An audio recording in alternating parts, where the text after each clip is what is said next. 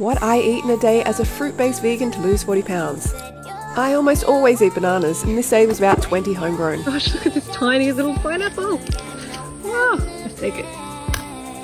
For dinner, I was doing a little bit of recipe creating and I made these pink sushi sandwiches. I mean, look how delicious that looks, and they tasted amazing with my coconut sweet chili sauce. I shared them with my partner and also made these super simple chickpea nuggets. They were surprisingly good, and there's more low fat slimming recipes like this in my ebooks. Okay, let's dunk these nuggets.